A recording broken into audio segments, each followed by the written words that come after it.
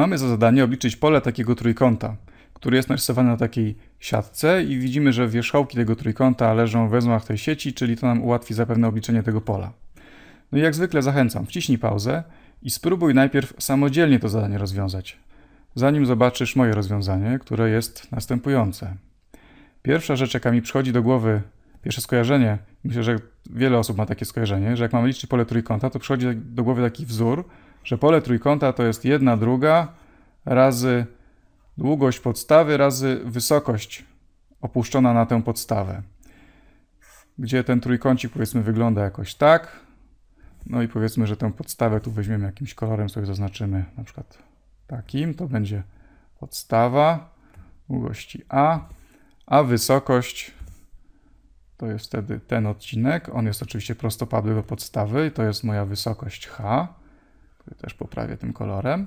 No oczywiście trójkąt może inaczej wyglądać. Może na przykład mieć tutaj kąt rozwarty przy podstawie i to też w niczym nie przeszkadza, dlatego że podstawa to nadal jest powiedzmy ten odcinek jego długość, no a wysokość wtedy, no to tak jakbym tutaj z tego wierzchołka rzucił na przykład do przepaści jakiś kamyk, no to spadnie tutaj pionowo. No i tutaj muszę po prostu przedłużyć tę podstawę, tę, tę prostą. To jest odległość do prostej, na której leży ta podstawa. To jest wysokość h. No dobrze, ale co nam to pomoże tutaj w tym trójkącie? No tutaj te wszystkie boki leżą tak jakby skośnie względem tej kraty, więc te długości nie jest takie oczywiste, jakie one są. Również wysokości będzie trudno tutaj znaleźć i w szczególności długość tej wysokości trudno będzie znaleźć. No ale może łatwiej będzie, może sobie ułatwimy zadanie, jak podzielimy ten trójkąt na jakieś figury, których pole będzie łatwiej obliczyć, na przykład na dwa trójkąty. No i tutaj mam taki pomysł, żeby podzielić go wzdłuż tej tutaj linii.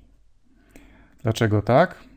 No bo teraz podzieliłem go na dwa trójkąty, które mają tutaj wspólną podstawę, to będzie moje A i A ma długość, jak widać, tak to jest tutaj, te kratki nam mówią, że to będzie po prostu 3, bo tutaj mamy węzeł tej sieci, czyli tutaj mamy długość 3.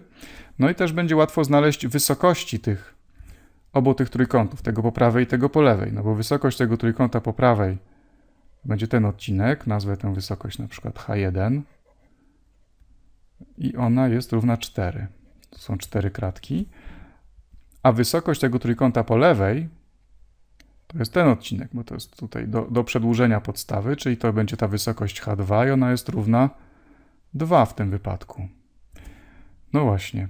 No tutaj akurat te trójkąty są narysowane tak, że podstawa jest pionowo, wysokości są poziome, czyli to jest obrócone, ten rysunek, co mamy tutaj po prawej stronie o 90 stopni.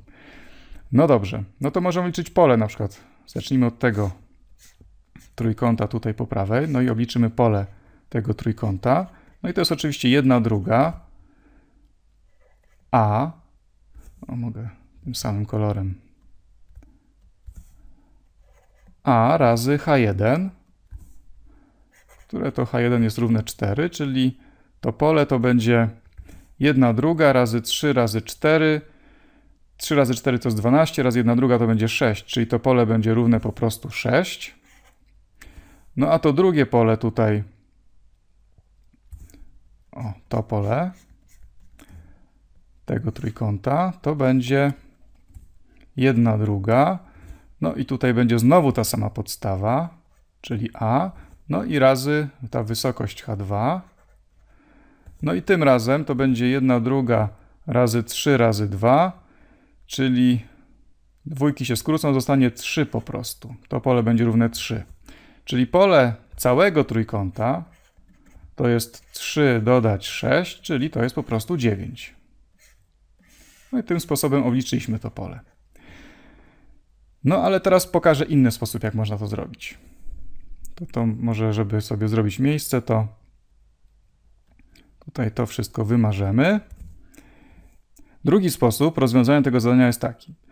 Zauważmy, że mogę tutaj dorysować taki prostokąt, którego boki pokrywają się z liniami tej siatki. Ten prostokąt będzie zawierał cały ten mój trójkąt, a oprócz niego będzie zawierał takie trzy trójkąty prostokątne. No właśnie, czyli pole całego tego prostokąta to jest łatwo obliczyć. Tu mamy 4 kratki, tu mamy 6 kratek, czyli pole tego całego prostokąta to jest 4 razy 6. I od tego muszę odjąć pole tych trzech trójkątów prostokątnych. No ale te trójkąty prostokątne mają przyprostokątne, które leżą właśnie, pokrywają się z liniami tej siatki, więc bardzo łatwo będzie obliczyć ich pole.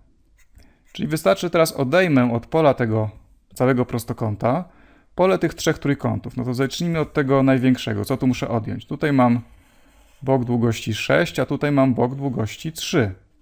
Czyli muszę odjąć 1 druga razy 6 razy 3.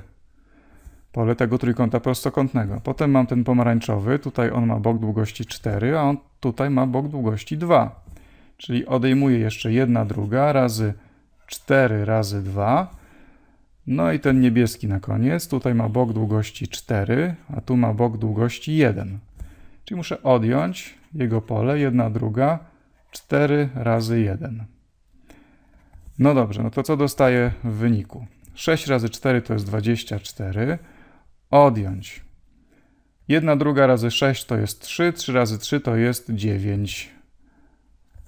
Odjąć, tutaj się 1 druga i 2 skróci, czyli zostanie 4 i odjąć 1 druga razy 4 to jest odjąć 2. Więc ostatecznie to jest 24 odjąć 9 to jest 15, odjąć 4 to jest 11, odjąć 2 to jest 9. Czyli znowu dostajemy ten sam wynik. Pole tego trójkącika tutaj w środku jest równe 9. Jakby nie liczyć. Kto woli, może liczyć pierwszym sposobem, kto woli, może liczyć drugim sposobem. Oba sposoby są bardzo proste i dają ten sam wynik.